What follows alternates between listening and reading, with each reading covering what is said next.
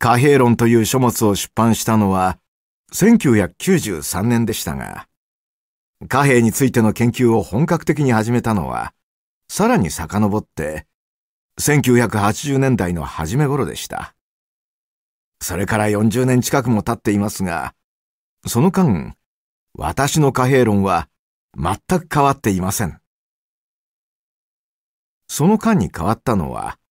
資本主義社会の方です。資本主義社会の変化については、皆さんが知っている通りです。貨幣の観点からの一番大きな変化は、スイカやパスモのような電子マネーの拡大やスマホ決済の普及、さらにはビットコインのようなデジタル通貨の登場です。私は貨幣論の中で、そうした電子情報を使った貨幣についてもかなりのページを割いて論じました。ただ、当時は商業用のインターネットが生まれたばかりでした。そのインターネット上でデジタル通貨を流通させる試みがすでにいくつか始まっていましたが、どれも失敗していました。私自身も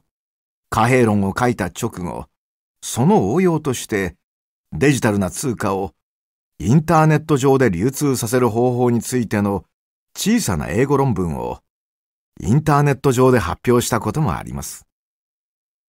ところが、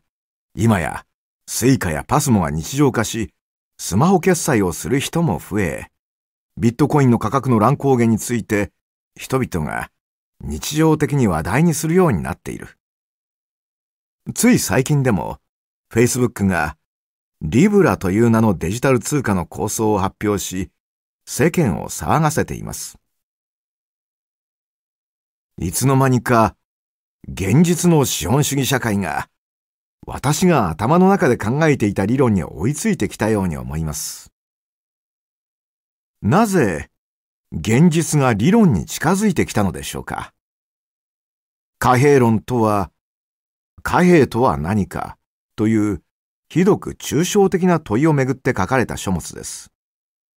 私は、その抽象的な問いに答えるために、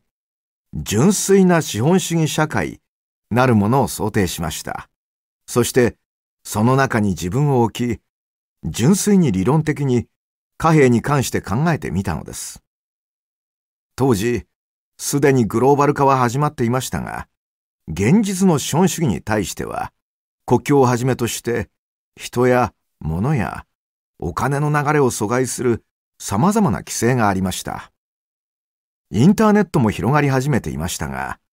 情報通信の技術の発達も道半ばでした。現実の資本主義と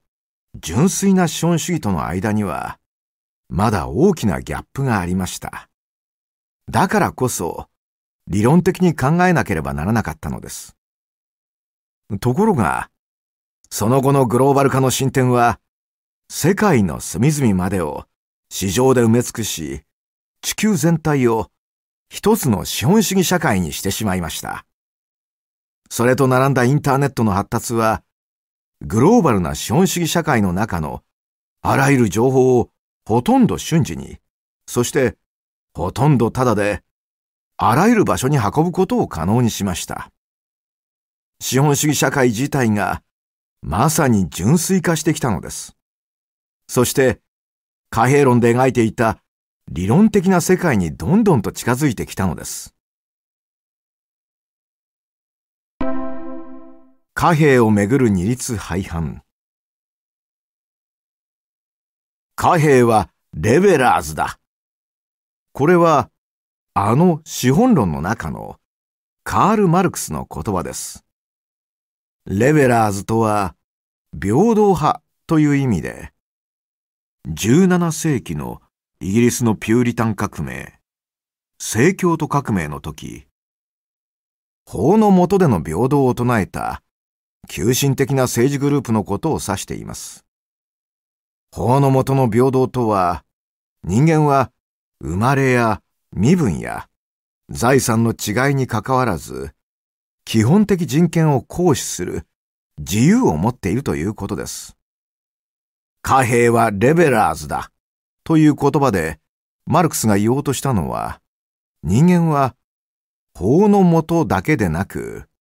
お金のもとでも平等であるということです。なぜならば貨幣を持つことによって人間は匿名性を得るからです。